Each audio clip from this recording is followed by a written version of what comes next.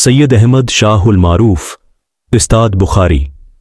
पैदाइश 16 जनवरी 1930 पाकिस्तान से ताल्लुक़ रखने वाले, संधि जबान के मशहूर व मारूफ, शायर और प्रोफेसर थे। उनकी शायरी को बहुत से गलोकारों ने गाया है। उन्हें बेपनाह अवामी मकबूलियत मिली। अदबी खदमात पर हुकूमत पाकिस्तान की जानब से 2009 में उन्हें सदारती तमगाबराए हसन कारकर्दगी दिया गया। इस्ताद बुखारी ने संधि शायरी में अनमिट नुकोश छोड़े। उन्होंने अपने शायराना इसलूब, रोमानवीत और निदरत ख्याल से नई नस्ल के शायरा की एक बड़ी तादाद को मुतासिर किया।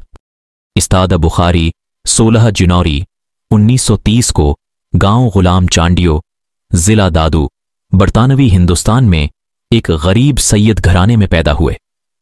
उनके वालिद बुजुर्गवार के ज़रिया माश का इन्हिसार मुरीदों के खराज पर था। उस्ताद बुखारी बड़े होकर पीरी मुरीदी का सिलसिला खत्म कर लिया और तालीम पर ध्यान दिया। वो पहले प्राइमरी उस्ताद बने, फिर प्रोफेसर बने। 1980 के बाद गाँव छोड़कर दादू शहर में सुकूनत अख्तियार की। इस्ताद बुखारी ने प्राइमरी तालीम गाँव गुलाम चांडियों में 1941 को मुकम्मल की। संधि फाइनल सात दर्जे तक तक तालीम दादू से 1943 में हासिल की।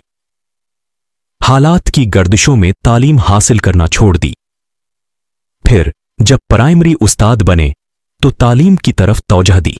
सनद यूनिवर्सिटी से, उन्नीस में बीए और उन्नीस में ईम ए संधि अदब में पास किया। उन्नीस में सनद पब्लिक सरूस कमीशन की सफारिश प्रसानगढ़ शहर में लेक्चरार मुकर्र हुए। वो बतौर लेक्चरार नवाब शाह में भी रहे। उन्नीस सौ इकशातिहार में उनका तबादला दादू डिग्री कॉलेज में हुआ। वहीं बतौर प्रोफेसर तरक्की पाई 1990 में सरूस से रिटायर हुए। उन्नीस में इस्ताद बुखारी को खराज तहसीन पेश करने के लिए डगरी कॉलेज दादू का नाम बदलकर इस्ताद बुखारी के नाम पर रख दिया गया। इस्ताद बुखारी का शजरा या हसब, नसब, उन्नीसवें नसब, या नस्ल में इच शरीफ के जलालुद्दीन, शेर शाह सरखपोश बुखारी से मिलता है। इस्ताद बुखारी का शजरा सैयद जलालुद्दीन सरखपोश बुखारी के बेटे बिहा आलदीन बुखारी से शुरू होता है। सैयद अहमद शाह बुखारी, अलमारूफ। इस्ताद बुखारी, संधि जबान और सुराइकी जबान के बहुत बड़े जदीद कौमी और अवामी शायर हैं।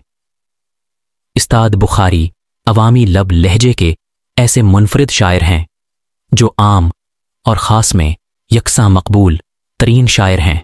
उनकी सादी शायरी में ख्यालात और फ़िक्र का ठाठें मारता समंदर शामिल है। इस्ताद बुखारी ने अपनी शायराना महारत से संधि जबान और सराय की जबान के मतरूक लफ्ज़ों को ज़िंदा किया है और नए अल्फाज, इस्तिलाहात, इस्तियारे और तशबीहात तख्लीक कर कि दोनों जबानों को मजीद मालामाल किया है। सादा अंदाज बयान में शार में फिक्री गहराई भरने पर उसे मलका हासिल था। इस्ताद बुखारी अपनी शायरी और मतरूक लफ्ज़ों को ज़िंदा करने के सिलसिले में फरमाया है। उर्सा दराज से कैंसर में मुबतला रहे और 9 अक्टूबर उन्नीस सौ बानवे की रात को कराची में वफात पाई।